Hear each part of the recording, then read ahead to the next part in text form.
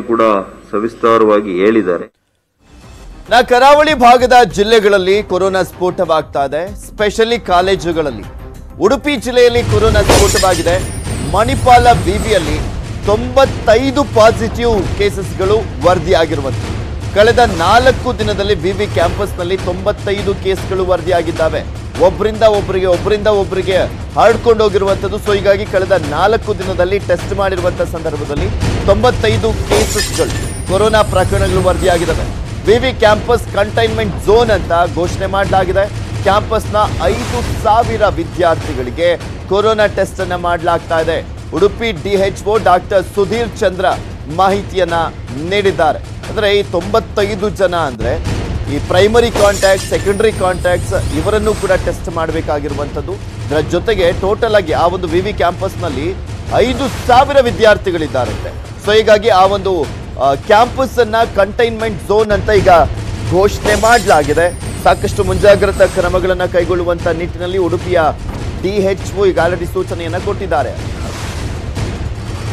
ದಿನದಿಂದ ಒಂದು ಸ್ಟ್ಯಾಟಿಸ್ಟಿಕ್ಸ್ ನೋಡುವಾಗ ಎಸ್ಪೆಷಲಿ ಮಣಿಪಾಲದ ಎಂ ಐ ಟಿ ಕ್ಯಾಂಪಸ್ಸಲ್ಲಿ ಸುಮಾರು ತೊಂಬತ್ತೈದು ಕೇಸುಗಳು, ಅಂದರೆ ಪ್ರೈಮರಿ ಕಾಂಟ್ಯಾಕ್ಟ್ ಮತ್ತು ಪಾಸಿಟಿವ್ ಕೇಸ್ಗಳು ಸೇರಿ ಒಟ್ಟು ತೊಂಬತ್ತೈದು ಕೇಸುಗಳು ನಾಲ್ಕು ದಿನದಿಂದ ವರದಿಯಾಗಿದೆ. ಸೊ ಈ ಹಿನ್ನೆಲೆಯಲ್ಲಿ ನಾವು ಎಂ ಐ ಟಿ ಕಾಂಪ್ಲೆಕ್ಸನ್ನು ಕ್ಯಾಂಪಸನ್ನು ಮನೆ ಜಿಲ್ಲಾಧಿಕಾರಿಯವರ ನಿರ್ದೇಶನದಂತೆ ಅದನ್ನು ನಿನ್ನೆ ಕಂಟೈನ್ಮೆಂಟ್ ಝೋನ್ ಆಗಿ ಡಿಕ್ಲೇರ್ ಮಾಡಿದ್ದೇವೆ. ಸೊ ಆ ಕಂಟೈನ್ಮೆಂಟ್ ಝೋನ್ನಲ್ಲಿ ಯಾರೂ ಮೂಮೆಂಟ್ ಆಗೋಂಗಿಲ್ಲ. ಮತ್ತು ಅಲ್ಲಿರುವ ವಿದ್ಯಾರ್ಥಿಗಳೇನಿದ್ದಾರೆ ಎಂ ಐ ಟಿ ಕ್ಯಾಂಪಸ್ಸಲ್ಲಿರುವ ವಿದ್ಯಾರ್ಥಿಗಳು. ಅವರಿಗೆಲ್ಲರಿಗೂ ನಾವು ಟೆಸ್ಟ್ ಮಾಡುವಂಥ ಒಂದು ಕಾರ್ಯಕ್ರಮವನ್ನು ಇನ್ನು ನಾಲ್ಕೈದು ದಿನದಲ್ಲಿ ಅವರಿಗೆಲ್ಲರೂ ಟೆಸ್ಟ್ ಮಾಡುವ ಕಾರ್ಯಕ್ರಮವನ್ನು ನಾವು ಮುಗಿಸ್ತೇವೆ. ಜಿಲ್ಲೆಯಲ್ಲಿ ಇದು ಉಡುಪಿ ಜಿಲ್ಲೆಯದ್ದಾದ್ರೆ ಅದರ ಪಕ್ಕದ ಜಿಲ್ಲೆ ಮಂಗಳೂರಿನಲ್ಲೂ ಕೂಡ ಅಷ್ಟೇ. ಅದು ವಿದ್ಯಾರ್ಥಿಗಳಲ್ಲೇ ಕೊರೋನಾ ಸೋಂಕು ಅತಿ ಹೆಚ್ಚಾಗಿ ಕಾಣಿಸ್ಕೊಳ್ತಾ ಇರುವಂತದ್ದು. ಕಾಲೇಜುಗಳಲ್ಲಿ ರಾಜ್ಯದಲ್ಲಿ ಕೊರೋನಾ ಅಬ್ಬರ ಒಂದು ಕಡೆ ಮಿತಿ ಮೀರಿ ಬರ್ತಾ ಇದೆ. ಸಾವಿರಕ್ಕೂ ಹೆಚ್ಚಿನ ಪ್ರಕರಣಗಳು ವರದಿ ಆಗ್ತಾ ಇರುವಂಥದ್ದು. ಹಾಗೆ ಕರಾವಳಿ ಭಾಗದ ಜಿಲ್ಲೆಗಳಲ್ಲಂತೂ ಆ ನರ್ಸಿಂಗ್ ಕಾಲೇಜುಗಳಲ್ಲಿ, ಆ ಮೆಡಿಕಲ್ ಕಾಲೇಜುಗಳಲ್ಲೆಲ್ಲ ಈ ಒಂದು ಕೊರೋನಾ ಸೋಂಕು ಅತಿ ಹೆಚ್ಚಾಗಿ ಕಾಣಿಸ್ತಾ ಇದೆ. ದಿನೇ ದಿನೇ ಜಾಸ್ತಿ ಸಂಖ್ಯೆಯಲ್ಲೇ ಪ್ರಕರಣಗಳು ವರದಿ ಆಗ್ತಾ ಇರುವಂಥದ್ದು.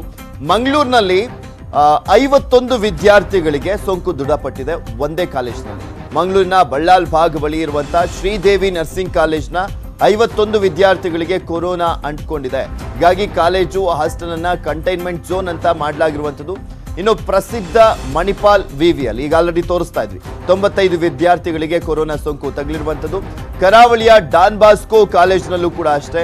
ಅದರ ಜೊತೆಗೆ ಎನೆಪೋ ಕಾಲೇಜಿನಲ್ಲೂ ಕೊರೋನಾ ಕೇಸ್ಗಳು ದಾಖಲಾಗಿದೆ. ಇನ್ನು ಕೊರೋನಾ ಸಂಪರ್ಕಿತರನ್ನ ಮನೆಗೆ ಕಳುಹಿಸಿ ಎನೆಪೋಯ ಶಿಕ್ಷಣ ಸಂಸ್ಥೆ ಎಡವಟ್ಟನ್ನ ಮಾಡಿಕೊಂಡಿದೆ. ಯಾಕೆಂದ್ರೆ ಆ ಸಂಪರ್ಕಿತರು ಎಷ್ಟು ಜನ ಇದ್ದಾರೆ. ಪ್ರೈಮರಿ ಕಾಂಟ್ಯಾಕ್ಟ್ಸ್ ಯಾರು ಸೆಕೆಂಡರಿ ಕಾಂಟ್ಯಾಕ್ಟ್ಸ್ ಯಾರು, ಅದನ್ನು ಕೂಡ ಟೆಸ್ಟ್ ಮಾಡಬೇಕಾಗಿತ್ತು ಅವರನ್ನ. ಆದರೆ ಅದೆಲ್ಲದಕ್ಕೂ ಮುಂಚೆನೆ ಈ ವಿ ವಿ ಅವರು ಎಡವಟ್ಟನ್ನ ಮಾಡಿದ್ದಾರೆ. ಎನಪೋಯ ವಿ ವಿ ಅವರು. ಸೊ ಹೀಗಾಗಿ ಅವರಿಗೆ ನೋಟಿಸ್ ಅನ್ನ ಕೂಡ ನೀಡಲಾಗಿರುವಂಥದ್ದು.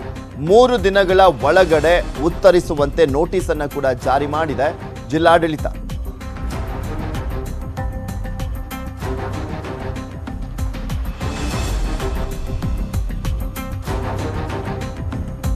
ಈ ಕುರಿತಂತೆ ಮಂಗಳೂರಿನ ಡಿಎಚ್ಒ ರಾಮಚಂದ್ರ ಅವರು ನ್ಯೂಸ್ ಏಟೀನ್ ಜೊತೆ ಮಾತನಾಡಿದ್ರು. ಏನು ಹೇಳಿದ್ರು ಕೇಳೋಣ.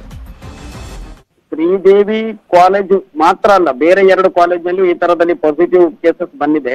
ಆ ಇನ್ನೊಂದು ಬಾಸ್ಕೋ ಅಂತ ಹೇಳಿಬಿಟ್ಟೊಂದು ಓಕೆ ಇನ್ನೊಂದು ಎನಪಯ ಗ್ರೂಪ್ ಆಫ್ ಇನ್ಸ್ಟಿಟ್ಯೂಷನ್ ಆ ಎನಪಯ ಗ್ರೂಪ್ ಆಫ್ ಅಲ್ಲಿ ಐವತ್ತಾರು. ಆಮೇಲೆ ದೇವಿಯಲ್ಲಿ ಅರವತ್ತಾಯ್ತು. ಬೋಸ್ಕೋ ಪಿ ಯು ಕಾಲೇಜ್ನಲ್ಲಿ ಕೂಡ ಒಂದು ಹದಿನಾರರವರೆಗೆ ಆಯ್ತು. ಕಳೆದ ಒಂದು ತಿಂಗಳಿಂದ ನಾವು ಹೇಳ್ತಾ ಇದ್ದೀವಿ ಕೇರಳ ರಾಜ್ಯದಿಂದ ಅಥವಾ ಇತರ ಕಡೆಯಿಂದ ಬರುವರೆಲ್ಲರೂ ನೆಗೆಟಿವ್ ರಿಪೋರ್ಟ್ನಿಂದ ಬರಬೇಕು ಅನ್ನುವಂತದ್ದನ್ನ ಹೇಳ್ತಾ ಇದ್ದೀವಿ. ಅದನ್ನ ಸರಿಯಾಗಿ ಇಂಪ್ಲಿಮೆಂಟ್ ಮಾಡದೇ ಇದ್ದಾಗ ಈ ಸಮಸ್ಯೆಗಳು ಉಂಟಾಗ್ತಾರೆ ಆ ಒಂದು ಸಂಸ್ಥೆಯ ಮುಖ್ಯಸ್ಥರೇ ಹೆಲ್ಡ್ ರೆಸ್ಪಾನ್ಸಿಬಲ್ ಪ್ರಿನ್ಸಿಪಾಲ್ ಇರ್ಬೋದು ಡೀನ್ ಇರ್ಬೋದು ಅವರೇ ಅದಕ್ಕೆ ರೆಸ್ಪಾನ್ಸಿಬಲ್ ಆಗ್ತಾರೆ. ನಾವು ಮಾನಿಟರಿಂಗ್ ಮಾಡಿ ಅವರದ್ದು ಈಗ ಪ್ರಕರಣಗಳು ಬೆಳಕಿಗೆ ಬಂದಿರುವಂತಹದ್ದು. ಹಾ ಸರ್. ಅದರ ಜೊತೆ ಜೊತೆಯಲ್ಲಿ ಅವರಿಗೆ ಸೋಪಾಸ್ ನೋಟಿಸ್ ಕೂಡ ಇಶ್ಯೂ ಮಾಡಿದ್ದೀವಿ ಉತ್ತರ ಕೊಡಿ ಅಂತ ಮೂರು ದಿವಸದೊಳಗಡೆ. ಅವ್ರದ್ದೆಲ್ಲ ಹಾಸ್ಟೆಲ್ನಲ್ಲಿ ಹೋಮ್ ಕ್ವಾರಂಟೈನ್ ಇದ್ದಂಗೆ ಹಾಸ್ಟೆಲ್ ಕ್ವಾರಂಟೈನ್ ಮಾಡಿದೀವಿ ಎಲ್ಲರದ್ದು ಕೂಡ. ಅಲ್ಲ ಎಲ್ಲರೂ ಕೂಡ ಮೈಲ್ಡ್ ಇರೋಕೆ ಹೋಗಿಬಿಟ್ಟು ಅಲ್ಲೇ ಟ್ರೀಟ್ಮೆಂಟ್ ಅಂತ ತಗೊಳ್ತಾ ಇದ್ದಾರೆ. ಹದಿನೇಳು ದಿನಗಳ ಕಾಲ ಅವರಿಗೆ ಚಿಕಿತ್ಸೆ ಆದ ನಂತರ ಅವರು ಡಿಸ್ಚಾರ್ಜ್ ಆಗ್ತಾರೆ. ಆಮೇಲೆ ಮುಂದೆ ಅವರು ಊರಿಗೆ ಹೋಗೋದಾದ್ರೆ ಅವಕಾಶ ಮಾಡಿ ಕೊಡ್ತೇವೆ